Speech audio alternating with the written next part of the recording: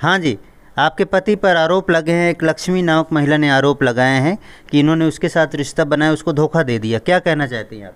जी वो ज़बरदस्ती करती है इनके साथ रात को फ़ोन करती थी बारह बजे एक बजे चार चार बजे फ़ोन करके बुलाती थी इनको कि नहीं आएगा तो तुझे कंप्लेन करूँगी तेरे नाम से। कंप्लेन डर की वजह से चले जाते थे उसके पास।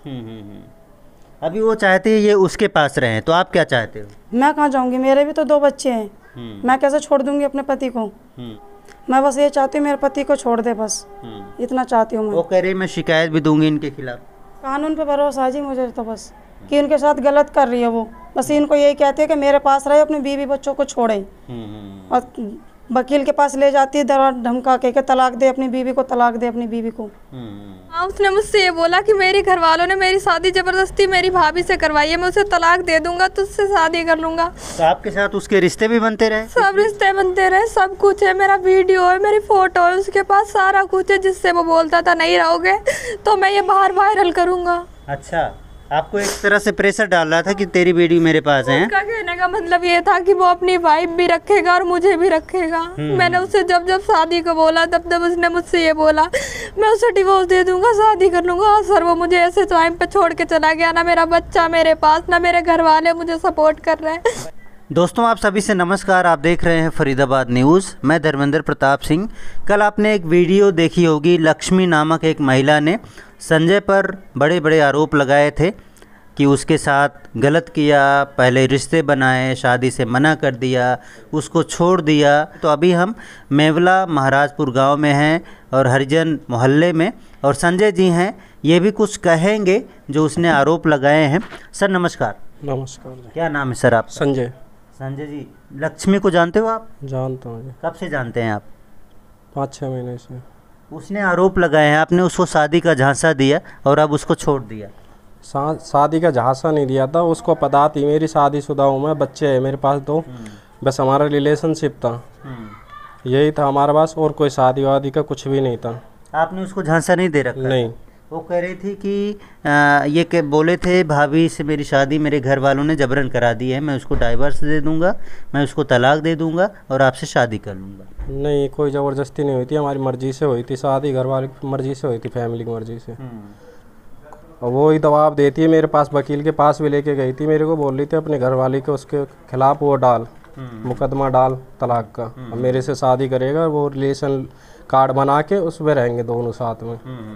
तो मैं आ गया था वहाँ से भग के मैं गया नहीं था उसके पास। अब वो कह रही थी आपने किसी स्पा सेंटर में उसकी नौकरी लगाई ऐसा भी आरोप लगा रही थी। नहीं मैंने नहीं लगाई मैंने इस पाम उसको पकड़ा था अपने दोस्तों के साथ पकड़ा था। तो मेरे से कहती थी मैं कपड़े की फैक्ट्री में काम करती हूँ मैंने स्पा में पकड़ा था अपने दोस्तों के साथ।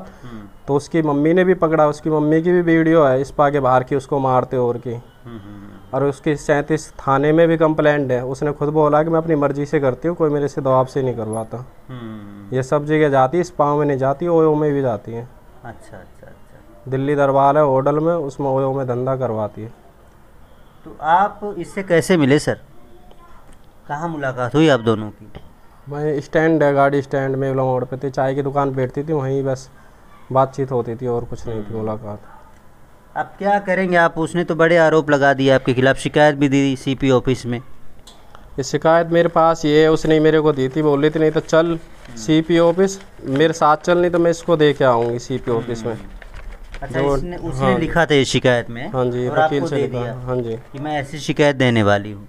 हाँ जी। इसमें जो उसने आरोप कई तरह के लगा दिए कि आप ही ओयो होटल में ले जाते हो। नहीं नहीं मैंने नहीं करवाया। ये सेक्टर सैंतीस थाने में भी उसने कंप्लेंट दी हुई है। वहाँ पे भी जाके आप पूछ सकते हो हम्म, कि खुद ही से लिख के आई है। मैंने कोई कोई आदमी अपनी मर्ज़ी से काम नहीं कराता किसी को। हम्म, कि आप इस लाइन में जाओ वहाँ जाओ ड्यूटी भी तो कर सकती है। कि कोई धंधा ही करवाएगा। साथ रहना चाहोगे या नहीं रहना चाहोगे? नहीं मैं उसके साथ नहीं रहना चाहता मैं अपनी वाइफ के साथ रहूँगा। मेरे बच्चे हैं दो हम्म, उनको कौन पालेगा? हम्म, उसने तो अपने आदमी को छोड़ दिया तलाक दे के। हम्म। अच्छा अच्छा। चलो वो तो कह रही पुलिस में एक्शन लूँगी पुलिस में शिकायत करूँगी। अभी आप उसको क्या मैसेज देना चाहते हो? मेरा मैसेज है मैं उसके साथ नहीं रहना चाहता। वो भी तो अकेली होगी उसके भी बच्चे हैं मुझे लगता है पहले पति के साथ। तो बच्चे है उसका पति कहता है मैंने संजय के चक्कर में सब कुछ छोड़ दिया। मेरे चक्कर में छोड़ा उस मेरे बात करने से पहले उसका दो तीन साल से तलाक का केस चल रहा। है हम्म, मेरी बात तो दो चार महीने से हुई है उसका तलाक का केस तीन चार महीने साल से चल रहा। है हम्म, हम्म। तो देख रहे हैं आप लोग संजय हैं इनका कहना है मैं उसके साथ नहीं रहना चाहता। मैं अपनी पत्नी के साथ रहना चाहता हूँ मेरे दो बच्चे हैं। अगर मैं उसके साथ रहूँगा तो मेरी पत्नी के और दो बच्चों की देखभाल कौन करेगा? तो ये उलझी हुई सी ज़िंदगी है, इनकी भी और उसकी भी। बाकी देखते हैं क्या होता है। लक्ष्मी ने इस पर आरोप लगाए हैं और इन्होंने लक्ष्मी पर भी आरोप लगा दिए हैं कि वो परेशान करती है और एक तरह से ब्लैकमेल करती है और शिकायत देती है, पुलिस थानों में परेशान करती है। बाकी देखेंगे आगे इस मामले में क्या होता है। इनका कहना है, आपका जो दोनों का रिलेशन था, आपसी सहमति से बना है। आपने कोई ज़ोर ज़बरदस्ती नहीं की कोई बलात्कार वगैरह नहीं कुछ भी नहीं किया। छः महीने से मैं उसका बलात्कार ही करता गया। छः महीने से रेप हमारा वो ये रिलेशनशिप था वैसे और कुछ भी नहीं था। अच्छा। इससे ज़्यादा कुछ नहीं था।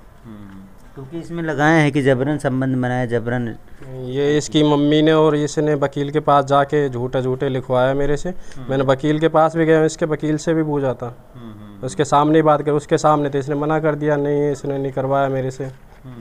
ठीक है दोस्तों देखते हैं इस मामले में क्या होता है। इन्होंने अपनी तरफ़ से सफ़ाई दी और उस महिला ने कल आरोप लगाए थे। वो भारत कॉलोनी में फ़िलहाल रहती है और ये मेवला महाराजपुर में रहते हैं। बाकी देखते हैं आगे इस मामले में क्या होता है। फरीदाबाद न्यूज़ से धर्मेंद्र प्रताप सिंह, नमस्कार।